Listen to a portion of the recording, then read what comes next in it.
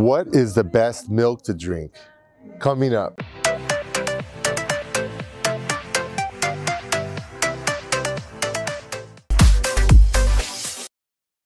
Hi everyone, this is Dr. Ernesto from Attaboy Cowboy and this channel we give you health and wealth tips to help you be more successful. Now what is the best milk to drink? I get that question a lot. People come in and they say, hey, there's all these different types of milk in the market now. There's almond milk, there's soy milk, there's hemp seed milk, there's cow's milk, goat's milk, and on and on and on. There's a lot of different milks, right? Let's go over some what are your best options out. Now, obviously the most common one is cow's milk. I used to drink a lot of cow's milk when I was growing up and I'm pretty tall. I'm almost 6'2", and I'm pretty strong. I'm about 200, a little over 200 pounds, 210 pounds. I don't know if it was totally due to the milk, but I did drink a lot of milk growing up. My brother, we used to get a gallon of milk and we used to split the gallon at every meal. So we used to drink about two, three gallons a day. So I, I drank a lot of milk growing up. Now, of course, my parents also fed me a lot of good food, fruits and vegetables. We never ate junk food. That made a big difference. But as you age, it's much more difficult to digest lactose, which is the sugar inside of milk. Remember, cow's milk is for cows. It's not really for humans. So the sugars that are in it are very difficult to digest. And in fact, cows are not real common in East Asia. So a lot of people from Asian ancestry can't digest dairy products. They have lactose intolerant.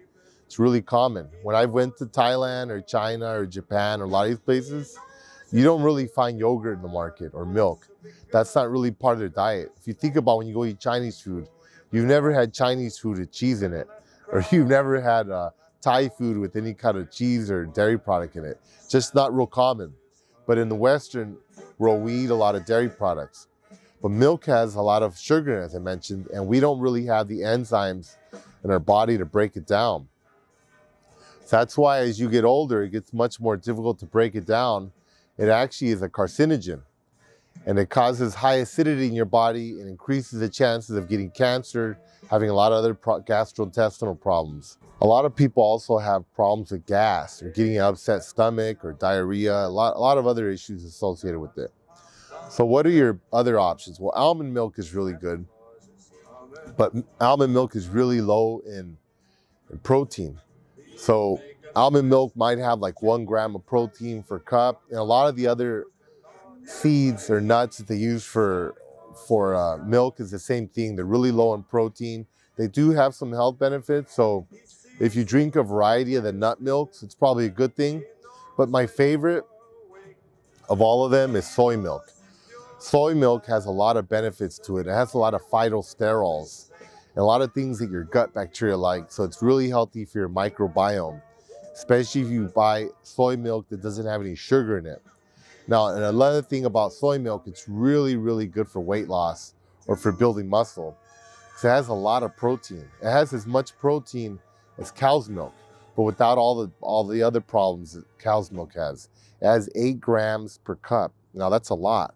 So if you think about it, an egg has about six grams of protein after you break it down and everything, you might get about four or five grams of protein out of that, which is pretty good. But soy milk, you can absorb close to eight grams, probably like six or seven grams, maybe up to eight, depending on the quality of the soy milk. It has a high bioavailability, so it gives you a lot of protein. So in the morning, if you want to drink a protein shake before you go to the gym, you want to drink something natural, you can just get a, get a few glasses of soy milk. You drink three glasses, you're already 24 grams. It's enough to go do your workout. And if you go to the gym, you want to drink protein while you're working out, you want to get something healthy that has antioxidants and a bunch of other benefits, you can drink the soy milk while you're exercising to give you some protein and help build up your body. So I hope that helps. If you have any questions, please comment below. Thank you for listening from Laughlin, Nevada. Have a good day. Bye-bye.